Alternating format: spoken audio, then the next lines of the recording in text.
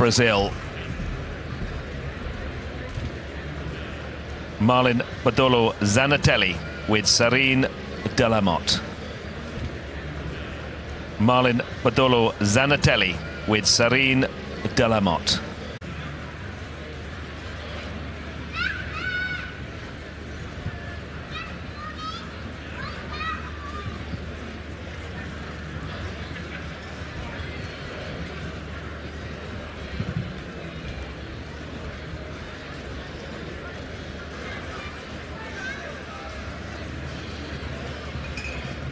Gallops at the water.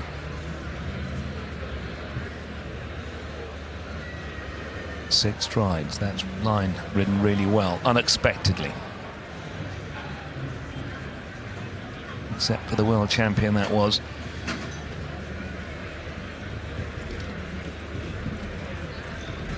Skips through the double. We have a battle, ladies and gentlemen, a real battle between the Netherlands and Brazil here in Geesteren. Felipe Amaral with the 12-year-old numero uno stallion, Germanico T.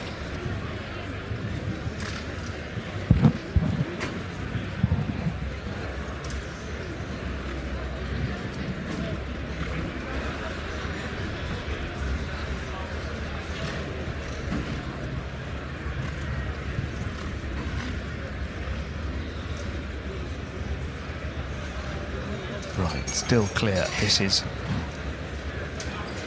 a pivotal round for Brazil.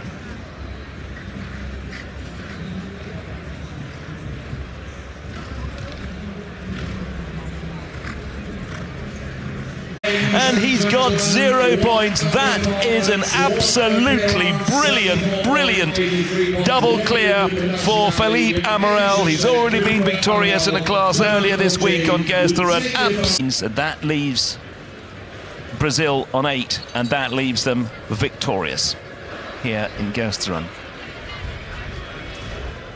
White knuckle rides as the team watching on grab everything they can.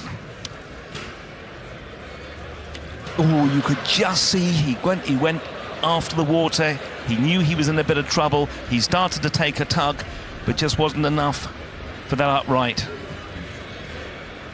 They win it, and he's done it. And that, by my reckoning, means that Brazil take the title here in Geesteren.